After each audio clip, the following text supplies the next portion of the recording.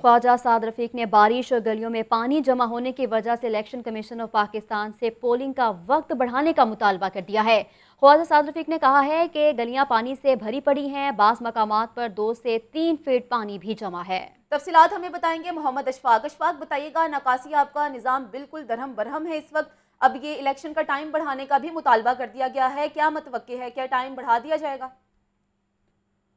लीगी रहनुमा ख्वाजा साद रफीक की जानी से समाजी रबता वेबसाइट पर पैगाम दिया गया है और उसमें इलेक्शन कमीशन से ये मुतालबा किया गया है कि पोलिंग का वक्त मजीद एक घंटा बढ़ाया जाए, क्योंकि बारिश की वजह से जगह जगह पानी खड़ा है और वोटर्स को बर वक्त पोलिंग स्टेशन पहुँचने में शदीद मुश्किल का सामना है, जबकि मुख्तलिफ़ पोलिंग स्टेशन और इलाकों में हल्की और तेज बारिश का सिलसिला जारी है।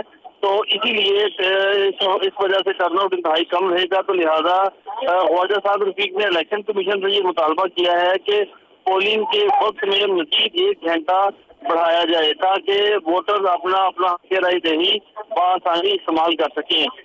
पोलिंग सुबह आठ बजे शुरू हुई थी और शाम पाँच बजे तक पोलिंग का अमल जारी रहेगा और अब तक सिर्फ़ लीगी रहनुमा ख्वाजा साद रफीक की जाने से ही मुतालबा सामने आया है कि पोलिंग का वक्त बढ़ाया जाए और किसी हवाले से दीगर जो तहरीक इंसाफ और पीपल्स पार्टी के उम्मीदवार हैं, उन्होंने ये मुतालबा अभी तक नहीं किया। तो अलबत् इस मामले पर खत्मी फैसला इलेक्शन कमीशन की जानब से किया जाएगा कि आया पोलिंग का वक्त बढ़ाया जाएगा या नहीं बढ़ाया जाएगा। ठीक है, मोहम्मद अशफाक, बहुत शुक्रिया आपका।